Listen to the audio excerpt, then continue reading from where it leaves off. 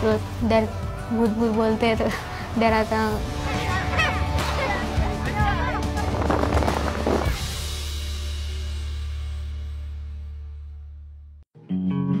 क्योंकि दिक्कत आती है बाल आँखों में गिरते, खाना खाता हूँ मुँह में चले जाते। सांस लेने में दिक्कत आती है।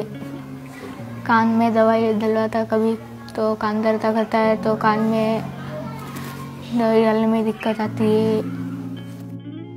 13 year old Lalit was born with a rare congenital condition known as hypertrichosis. The disorder causes excessive hair growth.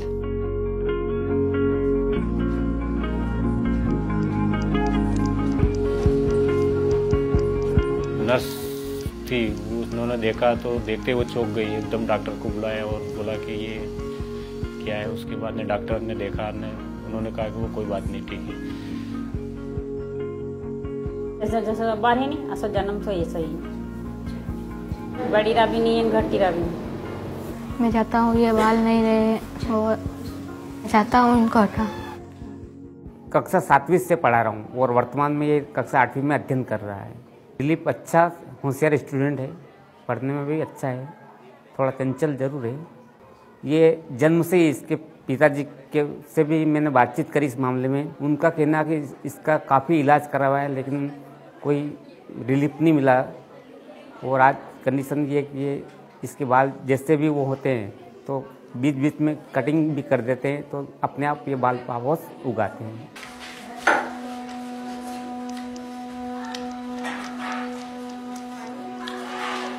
मैं ललित का दोस्त हूँ। मैं पहले, मैं ललित से जब मिला तो मैं बहुत डर गया था कि कौन आ गया। तो फिर मेरे दादाजी ने बोला कि कुछ नहीं है तो इंसान ही है।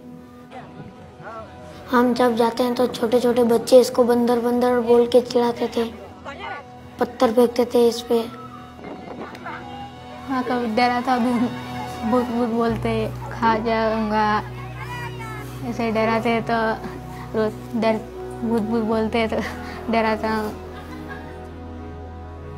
बाल नहीं होते, अच्छे रहते मुझे चिढ़ाता नहीं।